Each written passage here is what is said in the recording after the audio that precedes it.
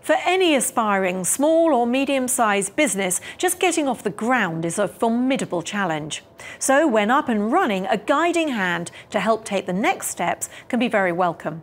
The University of Bedfordshire Business School aims to help businesses expand and prosper, benefiting local people, the community, and of course the business itself. Helena Carter has this report from Luton.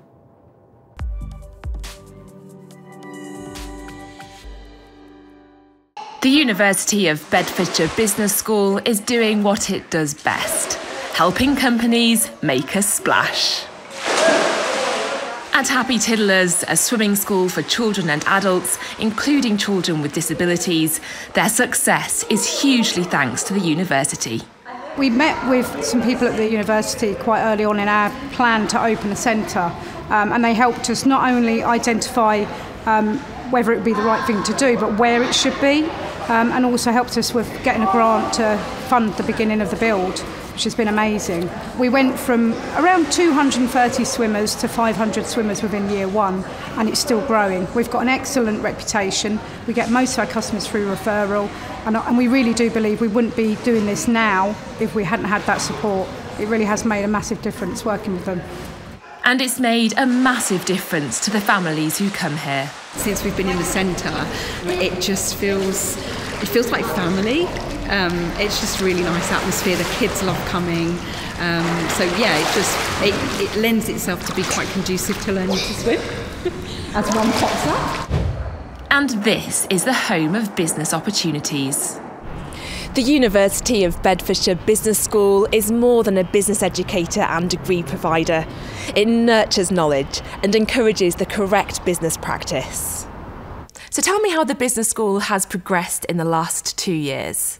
Initially, projects that we were dealing with with uh, mainly small and medium enterprises, focused on those companies that were in the earlier stages of their development. We're starting to see businesses coming to us looking for expansionist strategies, product diversification strategies, uh, new ways of marketing the uh, goods, services, or products that they have available to them.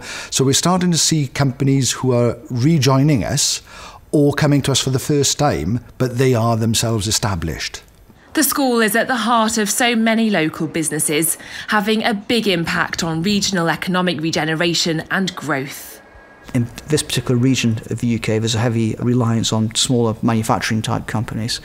And I think a lot of these companies feel relatively uh, lonely and uh, adopt a sort of standalone approach to their business growth.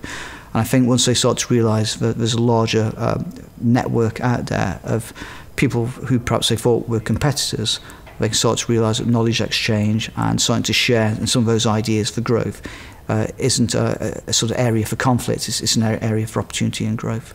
Sajil was a student here and he's now a lecturer, helping businesses grow by going digital my area of specialty is social media and online marketing and digital business sort of thing. So i have given advice to businesses on okay if you're on social media maybe you should do um, you know you should have this type of content or you should have consistency across various different platforms. These are some of the advice we normally give.